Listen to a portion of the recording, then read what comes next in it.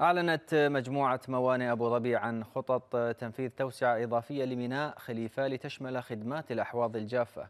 وبموجب هذه التوسعة سيتمكن ميناء خليفة من توسيع نطاق الخدمات البحرية واللوجستية والملاحية من مناولة الحاويات والبضائع لتشمل خدمات إصلاح وصيانة السفن.